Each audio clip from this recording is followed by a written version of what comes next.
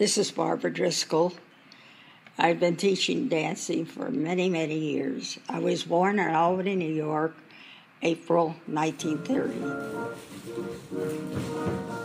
From my corner, two by two, I graduated from Staples High School in 1948. I then attended Mount St. Vincent College in Yonkers, New York. When I was 15, I was taught ballet by George Balanchine, the greatest name in ballet in America at the time, for five years, many times privately. As I grew older, I traveled on the train to Grand Central Station and would walk past all the Fifth Avenue stores and went to St. Catherine's Cathedral to make a little visit. Occasionally, I had a treated Trask restaurant before I danced at the School of American Ballet taught by Mr. Balanchine.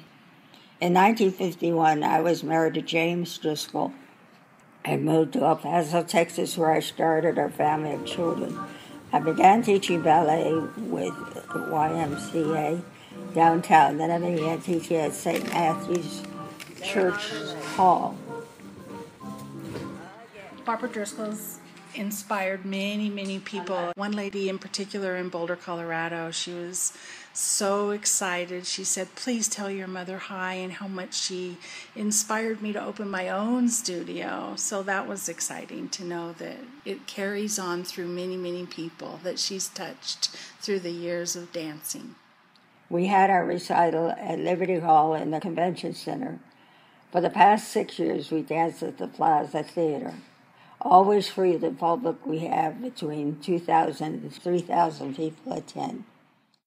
And my granddaughter Marlo is eight years old, and she's been dancing with me since she was two, and she's very good. It was my passion to teach the classical ballet from my heart, and I have been teaching ballet in El Paso since 1951.